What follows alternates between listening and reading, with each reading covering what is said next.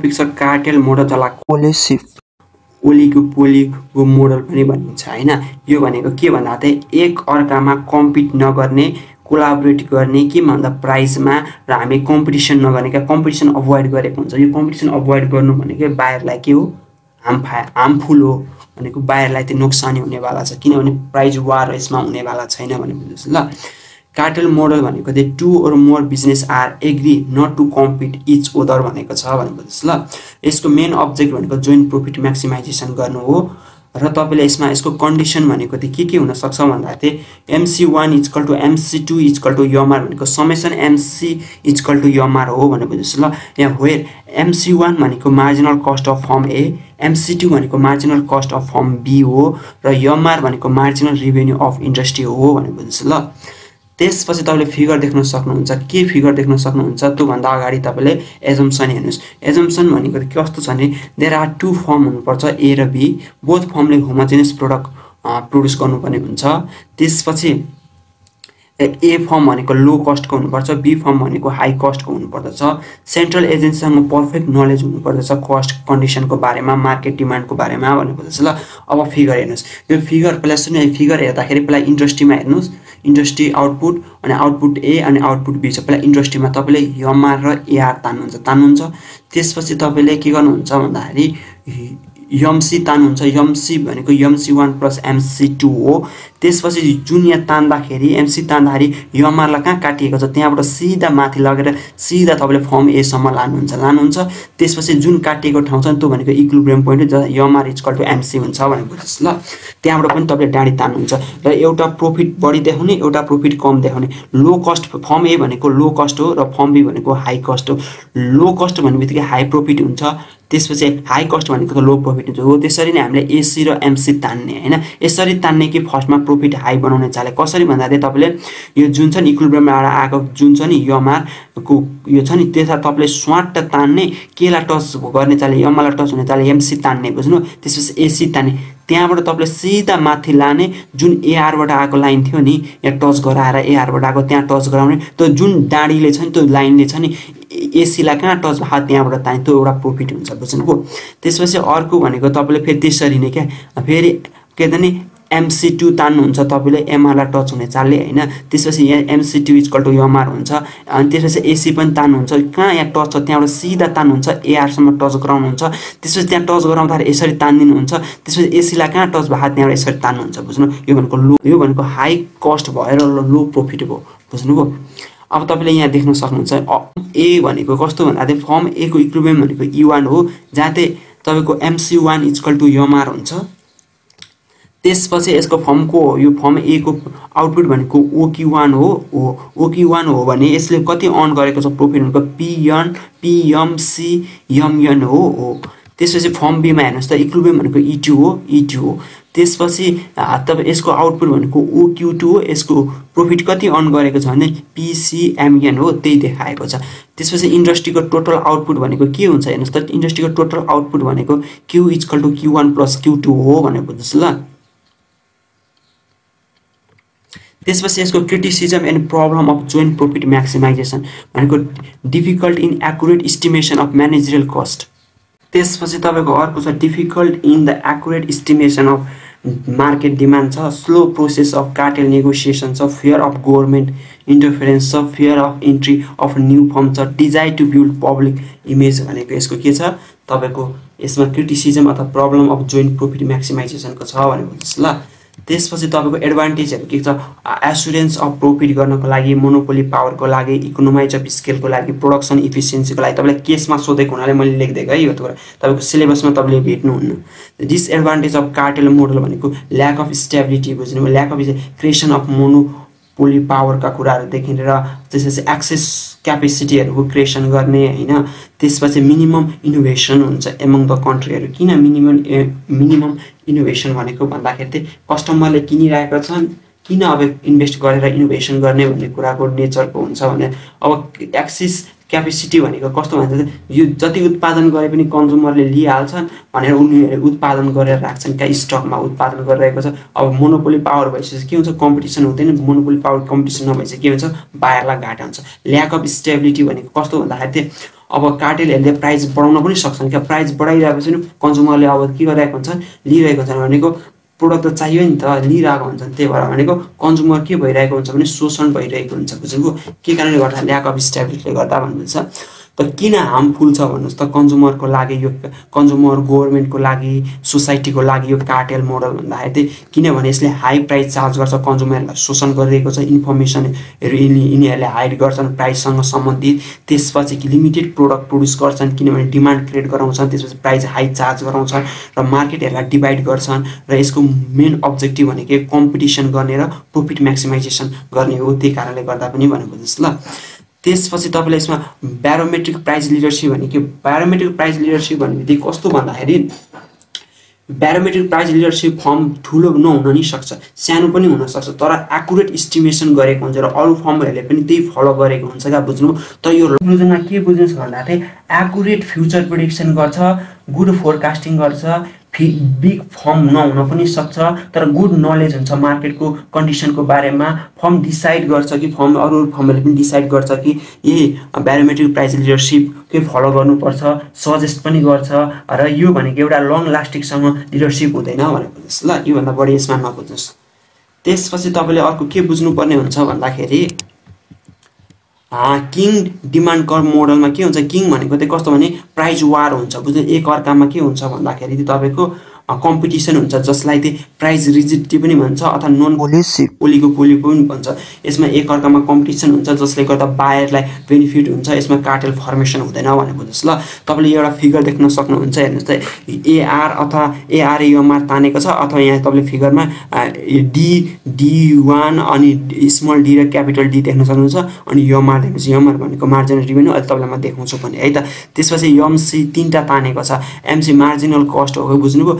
एमसीदेखि तल MC one र एमसीदेखि माथि एमसी टू तानिएको छ र एउटा ल्याएर ठ्याक्कै डीमा ल्याएर टच गराएको छ एउटा त्यो छ यो टच गराएको छ नि यो टच टच गराएर स्वाटै तल तानिएको छ यो तानिएर यो कुन ओक्यु हो यो जुन भनेको इक्लुब्रेम हो इक्लुब्रेम कहाँ हो त ओक्युमा भएको छ र ओपीमा भएको छ भनेको बुझ्नुहोस् ल।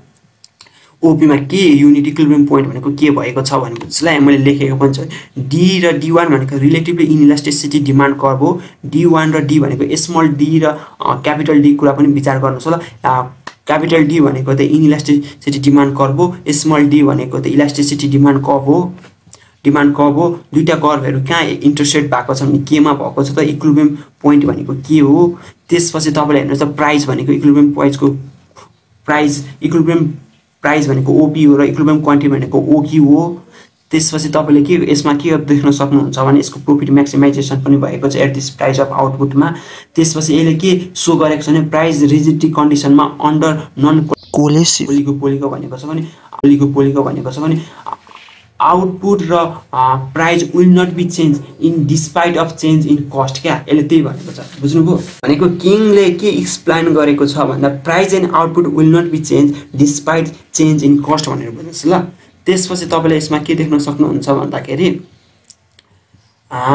क्रिटिसिजमहरू के के छ भन्दा not a model of price determination unable to determine the point of kink not supported by empirical fact conflict with the managerial productivity थियो यो तपाईँले सबै लेख्नुपर्ने हुन्छ। यो किङको कुराहरू प्राइज रिडि प्राइज रिजिडिटीका कुराहरू नन कोला कोलेसिप सोधिरहेको हुन्छ।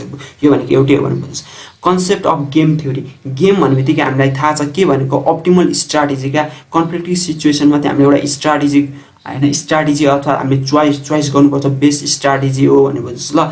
त्यहाँ मैले लेखेको पनि छु। तपाईँले हेर्न सक्नुहुन्छ। युजफुल टर्म अफ गेम थ्योरीका के के छ भन्दा स्ट्राटेजी भनेको त मास्टर प्लान हो बुझ्नुभयो? प्लेयरहरूले डिसाइड गर्छन् कि के के एक्सन हुनसक्छ यो पोसिबल के के एक्सनहरू हुनसक्छ भन्ने कुरा उनीहरूले डिसाइड गर्ने काम गर्दछन् बुझ्नुभयो? एक्सन लिने काम गर्दछन्। त्यसका लागि के स्ट्राटेजी बनाएको हुन्छ? प्लेयर भनेको के हो? प्लेयर भनेको डिसिजन मेकर हो भनेर बुझ्नु जसले चाहिँ बिहेभियरहरूको एक्सप्लेन अथवा प्रिडिक्ट गरेको हुन्छ भनेर बुझ्छ गेम भनेको के गेम भनेको एउटा कन्फ्लिक्टिङ सिचुएसन हो भनेर पिएफ भनेको एउटा कन्सिक्वेन्स गेम खेल्दा कि लस हुन्छ कि गेन हुन्छ नि त्यो भनेको बुझ्नु? अर्को डोमिनेन्ट स्ट्राटेजी भनेको म्या मार्केट क्याप्चर गरेको हुन्छ। हाई मार्केट क्याप्चर गरेको हुन्छ र फलोवर्सहरूले चाहिँ बेस्ट स्ट्राटेजी फलो गर्नुपर्छ। लिडरको प्राइस फलो गर्नुपर्छ। हो त्यस्तो त्यस्तो कुरा भने बुझ्नुहोस् ल। टाइप्स अफ द गेममा तपाईँले के देख्न सक्नुहुन्छ भन्दा types of the game types of the गेममा अब तपाईँको टाइप्समा कोअपरेटिभ र नन कोअपरेटिभ गेम छ। बुझ्नु फर्स्टमा हेर्नुहोस् त। त्यसपछि कोअपरेटिभ भनेको त्यो एग्री गर्ने क्या प्राइजको कुराहरूमा कन्ट्र्याक्ट गर्ने होइन? अनि मार्क मार्केट सेयरिङ एग्रिमेन्ट गर्ने। तर नन कोअपरेटिभ भनेको चाहिँ कस्तो भन्दा चाहिँ कम्पिट गर्ने एक र अर्कालाई कम्पिट गर्ने प्राइजका कुराहरूदेखि लिएर मार्केटका कुराहरूदेखि लिएर एडभर्टाइजमेन्टमा के गर्ने कम्पिट गर्ने। Zero sum game and non zero sum game zero sum game भनेको चाहिँ के भन्दा चाहिँ एउटा प्लेयर जति लस हुन्छ नि त्यति नै अर्को प्लेयर के हुन्छ भन्दा गेन गर्छ भने त्यो भनेको जिरो सम गेम हो। र नन जि नन जिरो सम गेम भनेको एउटा प्लेयर जतिले गेन गर्छ नि त्योभन्दा बढीले पनि लस हुनसक्छ अथवा त्योभन्दा कमले पनि लस हुनसक्छ अर्को पार्टी बुझ्नु। त्यो भनेको अर्को प्लेयर हो त्यो भनेको चाहिँ के भन्दा नन जिरो सम गेम हो भनेको बुझ्नुहोस् ल। र game of the perfect information भनेको इन्फर्मेसन त एकदम पर्फेक्ट थाहा हुन्छ। कम्पिटिसनको बारेमा सिचुएसनको बारेमा। अर्को इम्पर्फेक्ट इन्फर्मेसन भनेको चाहिँ के भने केही इन्फर्मेसन थाहा हुँदैन ओन्ली गेस मात्रै गरेको हुन्छ भनेको बुझ्नुहोस् ल। अर्को लास्टमा छ game with the finite and game with the infinite number of moves भनेको फाइनेट र इन्फाइनेट हुन्छ। गेम्सहरू अगाडि मुभ्स गर्नको लागि भनेर बुझ्नुहोस् ल। इम्पोर्टेन्स अफ गेम थ्योरी किन छ भन्दा भनेको कथन अनसर्टेनिटीहरूको बारे स्टडी गर्नको लागि ओलिगोपोलिस्टिक प्रब्लमहरू के के छ थाहा पाउनको लागि कन्फ्लिक्टिभ सिचुएसनहरू एनालाइज गर्नको लागि त्यसपछि अन्डरस्ट्यान्ड गर्ने इम्पोर्टेन्स अफ कोप कोर्पोरेसनका कुराहरू अनि प्रिडिक्ट गर्ने आउटकमहरूलाई हेल्पफुल प्रिडिक्ट गर्ने आउटकमहरूलाई भनेको बुझ्नुहोस् ल। त्यसपछि मैले लेखेको हुन्छ to study the interdependence and uncertainty to study the oligopolistic problem to analyse the conflicting situation to understand the importance of corporations to helpful to predict the outcome भनेर बुझ्नुहोस् ल। त्यसपछि नास इक्लुबेम नास इक्लुबेम भनेको चाहिँ कस्तो भने हाम्रो डोमिनेन्ट छ कि छैन स्ट्राटेजीहरू डोमिनेन्ट छ कि छैन होइन भन्ने कुरा पत्ता लगाउने क्या बुझ्नुभयो। Equilibrium is the game theory हो क्या जहाँ चाहिँ इच प्लेयरले एउटा एक्सन गर्छ के को लागि बेस्ट रेस्पोन्स गर्छ। बुझ्नुभयो? Best race response to the actions of other players क्या एकदम बेस्ट रेस्पोन्स गर्छ भनेको डोमिनेन्ट छ कि छैन भन्ने कुरा पनि पत्ता लगाउने क्या तपाईँले यहाँ पनि देख्नुहुन्छ नास इक्लुबियनले डिफाइन गरेको छ सिचुएसन हो which is the choice of strategy by the firms optimal provide the given strategy of other firms इक्जाम्पलबाट बुझ्नुहुन्छ पहिला स्ट्राटेजी हेर्नुहोस् both firm are and B are advertise or their product त्यसपछि एउटाले प्रोडक्ट एडभर्टाइज गर्छ भने अर्कोले advertise गर्दैन। Form बीले advertise गर्छ भने फर्म बीले एडभर्टाइज गर्दैन भनेको छ। दुइटैले डट एडभर्टाइज गर्दैन डन्ट एडभर्टाइज भनेको छ। बुझ्नु यो भनेको उसको स्ट्राटेजी हो। यो तपाईँले अब यो देख्न सक्नुहुन्छ यो फिगरमा के देख्न सक्नुहुन्छ भने एउटा फर्म ए छ फर्म बी छ। फर्म बी र फर्म ए छ फर्म बी र फर्म ए छ। एडभर्टाइज भनेको छ डन्ट एडभर्टाइज भनेको छ। Advertise don't advertise twelve sixteen twelve twenty four eight twenty र टुवेल्भ एट दिएको छ। पहिला सुरुमा हामीले के भनेर अर्काको घरमा के पाकिरहेको छ त्यो हेर्ने क्या यसमा भनेर क्या बुझ्नु भन्नुको त यो यो स्ट्राटेजी आफ्नो त छ अर्काले के गरिरहेको छ कम्पिटिटरले के गरिरहेको छ त्यो हेर्ने भनेर बुझ्नुहोस् ल। यहाँ तपाईँले के देख्नुहोस् भन्दाखेरि चाहिँ अब पहिला सुरुमा इफ फर्म बी एडभर्टाइज गर्यो भने इफ फर्म बीले एडभर्टाइज खेलिरहेको छ भने अब एले के गर्ने? एडभर्टाइज गर्ने कि नट एडभर्टाइज गर्ने? तपाईँले यसरी हेर्ने कसरी भन्दा चाहिँ तपाईँले यहाँ हेर्नुहोस् त सिक्सटिन र एटमा के छ? एडभर्टाइज गर्ने कि नगर्ने भनेपछि सिस्टेम एडभर्टाइज गर्ने भन्नुको अर्थ बीले एडभर्टाइज गर्दाखेरि एले पनि एडभर्टाइज स्ट्राटेजी गर्नुपर्छ भनेर लेख्ने है। त्यसपछि फेरि इफ बीले चाहिँ डन्ट एडभर्टाइज भनेको त छ डन्ट एडभर्टाइज भनेको त छ। त्यसपछि अब इफ बीले डन्ट एडभर्टाइज गर्दाखेरि चाहिँ अब फर्म एले चाहिँ के गर्ने? एडभर्टाइज गर्ने कि न डन्ट एडभर्टाइज गर्ने छ ट्वेन्टी र टुवेल्भ छ। एडभर्टाइज गर्ने कि डन्ट एडभर्टाइज गर्ने? एडभर्टाइजै गर्छ। गर्छ। त्यसैले के गर्छ भन्दाखेरि फी फर्म बीले डन्ट एडभर्टाइज गर्दाखेरि फर्म एले पनि एडभर्टाइज गरिरहेको छ। यानि कि फर्म बीले जेसुकै एडभर्ट जेसुकै स्ट्राटेजी प्ले गरे पनि फर्म एले चाहिँ के स्ट्राटेजी प्ले गर्नुपर्छ भन्दाखेरि चाहिँ तपाईँको एडभर्टाइजमेन्ट स्ट्राटेजी गर्नुपर्छ स्ट्राटेजी फलो गर्नुपर्छ भनेर मैले त्यही लेखेको यहाँ बुझ्नुभयो। यहाँ लेखेको छ whatever firm B play A should play the advertise strategy therefore firm A has a dominant strategy हो भनेपछि दियर फोर एकै ठाउँमा हो भन्नुहोस् ल। त्यसै गरी अब हेर्नुहोस् त अब हामीले फर्म एबाट हेरौँ ल। If firm play the advertising strategy firm एले एडभर्टाइजिङ स्ट्राटेजी गरिरहेको छ। अब फर्म बीले के गर्नुपर्छ?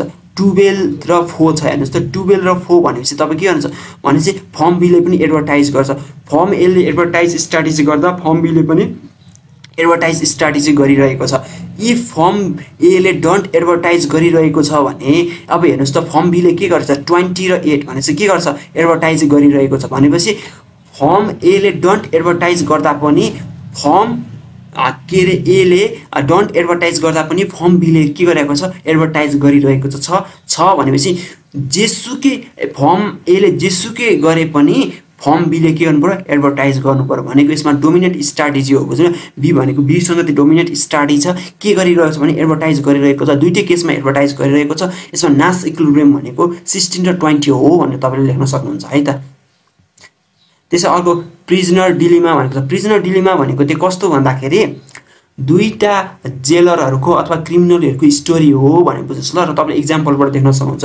यसमा प्रिजनर बी र प्रिजनर ए छ कन्फ्युज र डन कन्फ्युज छ कन्फ्युज र डन कन्फ्युज छ five five zero ten ten zero र जिरो जिरो छ छ। अब तपाईँले के देख्न सक्नुहुन्छ भन्दा यसमा चाहिँ यदि फर्म ए र फर्म बीले हो मैले क्रिमिनल एक्टिभिटिज गरेको हो भन्यो भने के गर्छ भन्दा दुइटैले चाहिँ पाँच पाँच वर्षको जेल चलान हुने भयो बुझ्नुभयो।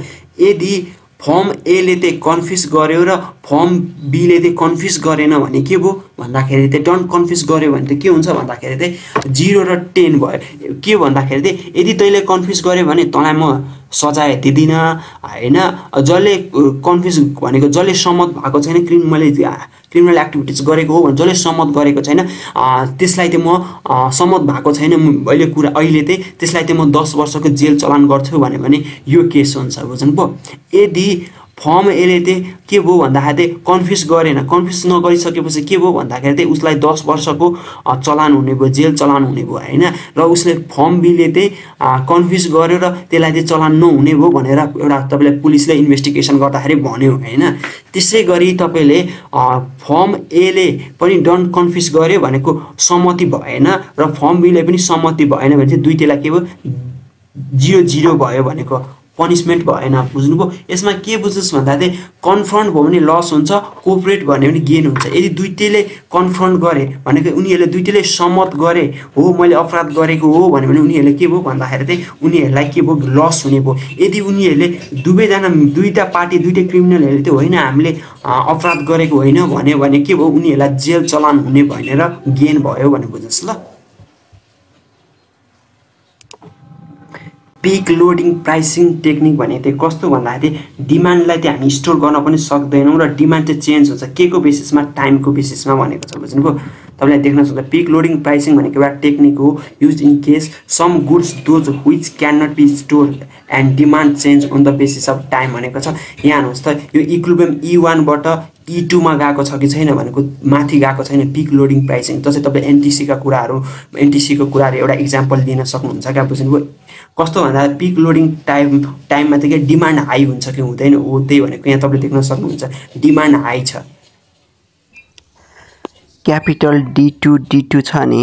त्यो भनेको त्यसले के रिप्रेजेन्ट गर्छ भन्दाखेरि demand for product at peak टाइममा बुझ्यो अनि small D one D one छ नि त्यसले के रिप्रेजेन्ट गर्छ भन्दा at a time of time अफमा क्या बुझ्नुभयो? टाइम अफको डिमान्ड रिप्रेजेन्ट गर्छ भने एमसी भनेको short run marginal cost as well as supply curve of firm पनि हो भनेर बुझ्नुहोस् ल। ई वानले त के सो गरेको छ? अफ टाइम पिरियड इक्वल भनेको छ भने ई टूले के सो गरेको छ भन्दा ई टूले के सो गरेको छ भन्दा peak time equal at the OP two and OQ two भनेर है त।